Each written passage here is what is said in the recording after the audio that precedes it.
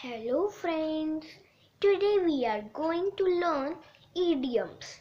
Idioms are expressions which may seem to be funny and without meaning, but they have a special and deep meaning.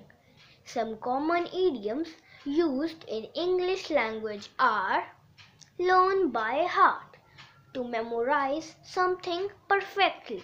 Sentence I have learned the poem by heart. Second, crocodile tears. Sentence Don't shed crocodile tears in front of me. Third, a sharp tongue.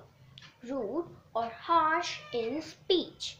Sentence Johnny has a sharp tongue. I don't like him. Fourth, a cup of tea. Favorite activity. Sentence Playing golf is not my cup of tea. Fifth, an apple of one's eye. Someone loved or prized intensely. Sentence Monica is an apple of her mother's eye.